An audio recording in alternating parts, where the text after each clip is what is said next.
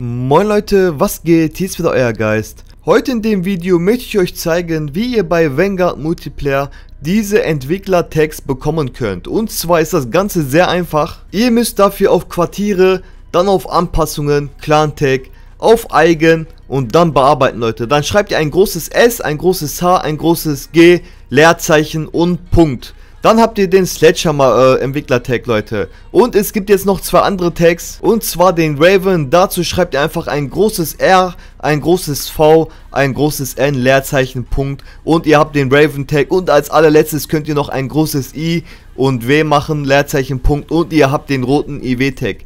So Leute, das war's mit dem kurzen Video. Ich hoffe, euch hat das Video gefallen. Falls ja, ihr wisst Bescheid, Leute. Liken, Abo dalassen, Glocke aktivieren, um nichts mehr zu verpassen. Ansonsten ciao und bis zum nächsten Mal.